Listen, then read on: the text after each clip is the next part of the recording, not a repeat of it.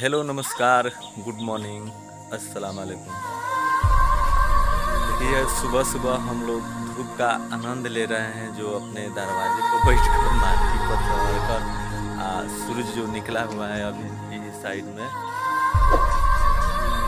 दिखाई नहीं दे रहा है वो भी दिखाने का प्रयास हम करते हैं। अभी निकल कर निकला हुआ है धूप तो हम लोग मिट्टी पर यहाँ पर खड़ा होकर धूप का इधर से आनंद ले रहे हैं।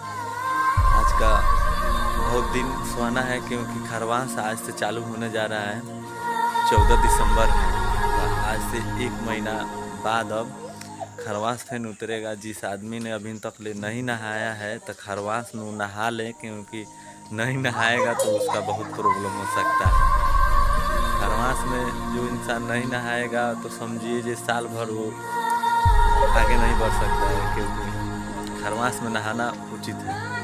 अति ज़रूरी है, इसीलिए आप लोग नहाइए खरवास कल से कर चुका है, चढ़ चुका है आज से।